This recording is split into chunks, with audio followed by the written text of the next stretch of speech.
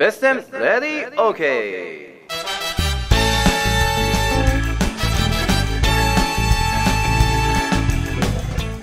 ーはいというわけで小田井良平でございます。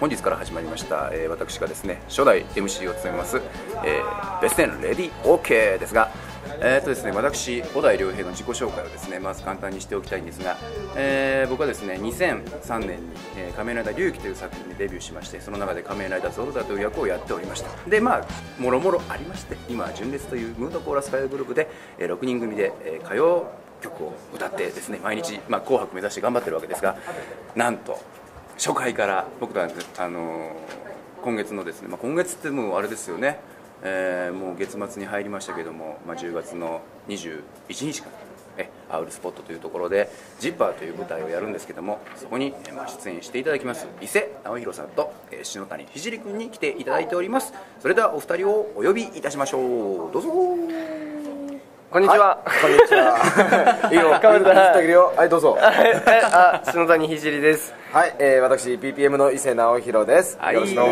もよろしくお願いいたします。ヨミさんいいんですか？第一回目からこんななんかこうはいいやいやいやこれはもう第第1回目だからこそのですね。この身内で回してなんとかね うまいことごまかしてやろうみたいな。ごまかし ごます。ごまかしって言われちゃったらちょっとやりにくい。そうそうですそうですまあこれ舞台の宣伝も兼ねてますからね、はい。まあ、ありがたいことに本当にチケットがね好評で売れてるはいということなんで,、ね。そうなんですよね。それでもやっぱりねあのそれでも宣伝していかないとですねいい作品はいいぞと言い続けてやろうということそうなんです。はい、まああのねあのチケットはもう完売しておりますけれども、ん。あのチケットをご予約された方はうん。楽しみにしていただけるように、すね。はい。そして、えー残念ながら今回ちょっとご縁がなかった方はですね、次回、はい。また楽しみにしていてくださいっていう予告がで。きればね。ね、はい。いいと思ってますよ。は、はい。いさあというわけでですね。あのもう今なんて言いますか、まあ、まったりしちゃってるんですけど理由がありまして、はい。実はもう今日今時間が収録時間がですね。なんと夜のもう10時半を回っております、はい、稽古終わった後に、はい。え3人で、えもう喋ってますからね。ちょっと若干まったりしてまして僕なんかあの39歳ですからですね、はい。まあ若干脳に酸素もいってないような状態で今喋ってますんで。もうこの時間寝る時間ですからね。そうですね、ええ。まあ、そんな気分でお酒の一杯も飲みながら聞いていただければ、まあ、そうですね。ちょうど皆さんいいリズムで聴けるかなと。うん。何ちょっとひじり君さっきからあのなんか 何？ヘロヘロヘロヘロし違うんですて俺の番組だからと思って舐めてかかってるだろ違うんです。違うんです。あの、あの、楽楽しすぎて、ちょっと、今すごい楽しくて、やっぱ、あの、ラジオって、多分初なんですね。あ、そうなんだ。は。じ初めてです。あ、初めて？初めてだと思います、俺、ラジオ。うんはい、なので、ちょっとまあ、楽しんでます。今はい。本。当にリアルに楽しんじゃって楽しんでます。まあ稽古場なんでね、他に役者とかもまだ打ち合わせしてたりとか、片付けしてたりとかしますけれども、はい。今ですね、まあはい僕 BPM という団体に所属しておりまして、そこの演出家がね、浅沼慎太郎って言うんですけど、実況入りましたよ浅沼がですね実況。えー声を出さずにいじり始めてるんで、それでさっきからひじり君が、ちょっとやめなさいよな。本当に。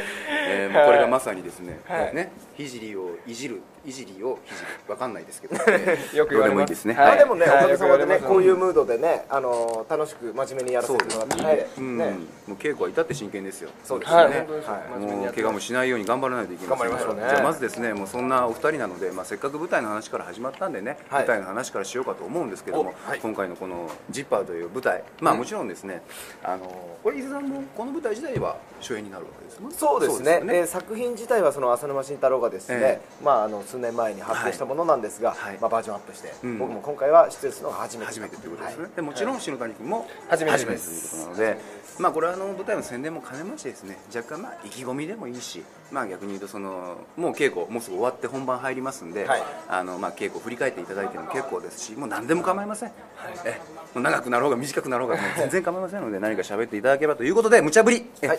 ひじり君からいきましょう。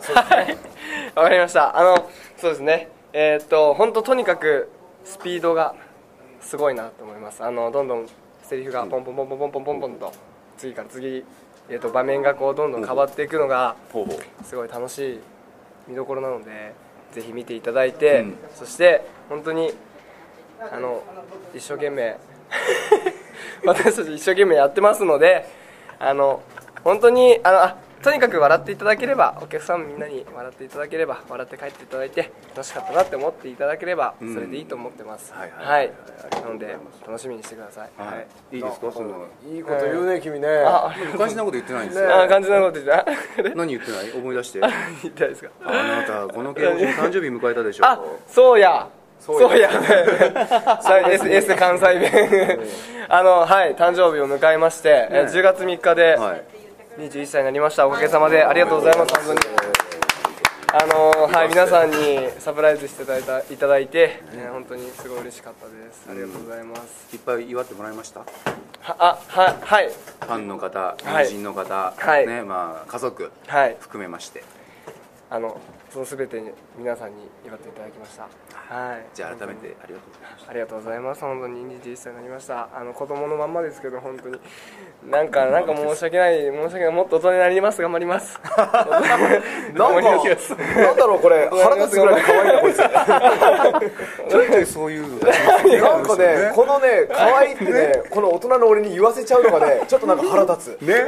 でもあんまこういうことを言うと次の日の僕のブログが炎上しちゃうと思うんでね。可愛いだけにとどめておこうと思いますけれどもね。まあ、今の段階でやばいって言われてまあまあそんな伊勢さんじゃあ次はい。まあ、聖君もねおっしゃってた通りなんですけれども、まあ、スピード感のある、伏線の張り張り巡らされたコメディでですね、はい。お客さんにスカッと笑って帰っていただこうと、うん。そうですね。うん。またですね今回まあ僕はそのね BPM という団体のメンバーとして、キャスティングの時からまあいろいろ関わってはいたのですけれども、もうこれ以上ないってぐらいベストキャスティングが今回できて本当に嬉しいんですね、い。やもうで稽古場に行ってもやっぱその期待を裏切らない。なんかジェラシーさえ起こる、そんなね あの粒揃いの花のあるキャストに囲まれて僕もすごく刺激を受けてるんでね。いやいや、まあ、今回僕 MC ですけど、はいまあまあうち舞台としては僕も一出演者なので、本当にそう言っていただいてありがとうございます。いやいやとんでもないです。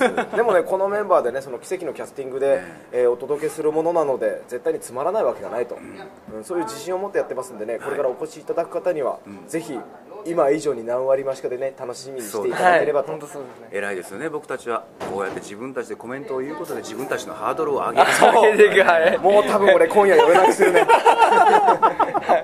偉いよこれ。なかなかできないよ。見習った方がいい。そういうことを言わないとダメですよ。はい。わかりました。そう。なんだ勉強になります本当に。聞いてもないのに誕生日のことなんか言っちゃって。あんた聞いた聞いてた今。まあまあ、はいありがとうごそざいます。んなお二人ですけどじゃあ舞台の方はですね、まあ、僕も含めまして、ねはい。ぜひぜひあの楽しみに来ていただければということであの舞台の PR の方はこれで終わりたいと思います。はい。はい、じゃあお願いします。10月21日からやってますんでアウルスポットでお待ちしております。アウルスポットでお前何言えてんやんし アウルスポットでお待ちしております。ありがとうありがとうございました。せーのでよろしくお願いしますですね、はい。せーの。よろしくお願いします